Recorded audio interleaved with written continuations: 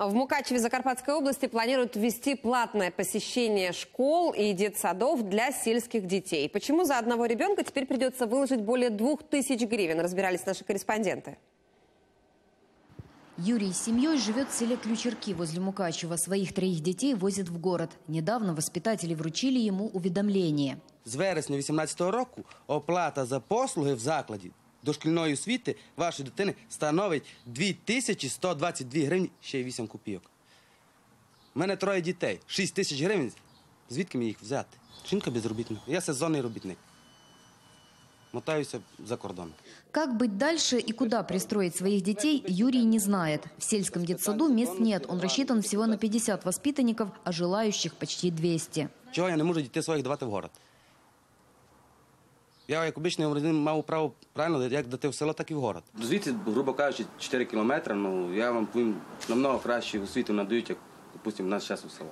В Мукачевской мэрии успокаивают, платить за воспитание и обучение детей в городе могут не только родители, но и сельсоветы. Ми несемо е, чималі витрати на утримання зрозуміло освітньої е, сфери нашого міста.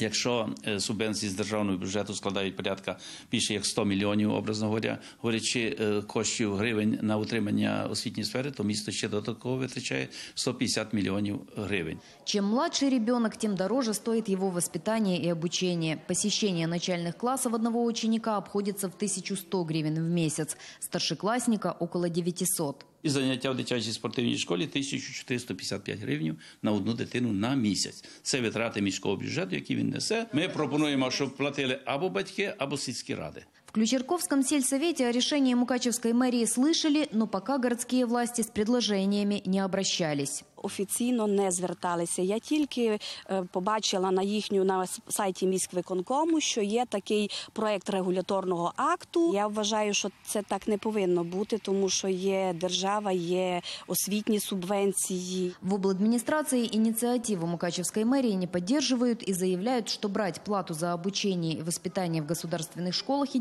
детсадах незаконно. Згідно із законодавством, е, дитина і батьки е, можуть самостійно вибирати навчальний заклад, дитсадок чи школу, в якій е, можуть навчатися. Якщо ж це рішення буде прийнято, воно буде оскаржене в суді обласної державної адміністрації і скасоване.